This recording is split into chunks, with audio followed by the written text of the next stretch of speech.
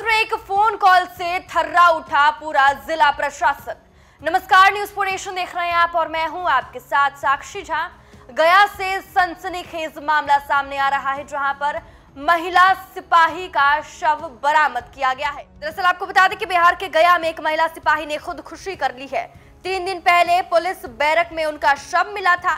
अब पुलिस ने बताया है कि महिला सिपाही को उसके मंगेतर ने शादी तोड़ने की धमकी दी थी। पुलिस ने बताया कि महिला सिपाही के जीजा ने उसके मंगेतर को उसके बारे में झूठी बातें बताई थी। मृतक महिला सिपाही का नाम विभा कुमारी था। उसकी शादी नालंदा के रहने वाले ब्रिज मोहन कुमार से तय हुई थी। विभा के जीजा टिंकू कुमार ने अपने दोस्त चैतन्य कुमार के फ़ोन से ब्रिज मोहन को फ़ोन किया। टिंकू ने खुद को शिवम नाम का दरोगा बताया और ब्रिज मोहन से कहा कि जिस लड़की से आपकी शादी तय हुई है, वो ठीक नहीं है। उससे रिश्ता तोड़ लो। इसके बाद ब्रिजमोहन ने विभा को फ़ोन करके संबंधों के बारे में पूछा और शादी तोड़ने की धमकी दी। इससे विभा बहुत आहत हुई और उसने खुद खुशी कर ली।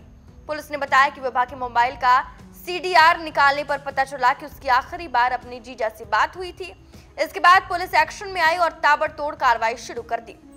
आगे पुलिस ने बताया कि छापेमारी कर टिंकू, चैतन्य और ब्रिजमोहन को गिरफ़्तार कर लिया गया है। फ़िलहाल तीनों से पूछताछ की जा रही है। एसएसपी आशीष भारती ने बताया कि विभा के जीजा ने उसे फंसाने के लिए झूठी कहानी बनाई। विभा और ब्रिजमोहन की शादी तय होने के बाद से टिंकू नाराज़ था। तो देखिए, गया पुलिस लाइन में महिला सिपाही विभा कुमारी मृत मिले। पुलिस ने मामले का खुलासा किया।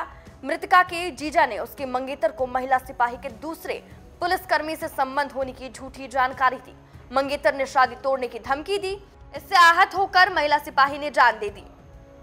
तो देखिए, बिहार के गया में महिला सिपाही विभा कुमारी ने खुद खुशी कर ली, जिसका शव पुलिस बैरक में मिला था। विभा को उसकी मंगेतर ब्रिजमोहन कुमार ने शादी तोड़ने की धमकी दी थी, जिससे वो बहुत आहत हुई। विभा के जीजा टिंकू कुमार ने ब्रिजमोहन को झूठी बातें बताकर विभा के खिलाफ साजिश की थी। वहीं आपको बताते चले कि टिंकू कुमार ने अपने दोस्त चैतन्य कुमार के फ़ोन से ब्रिजमोहन को बताया कि विभा ठीक नहीं है।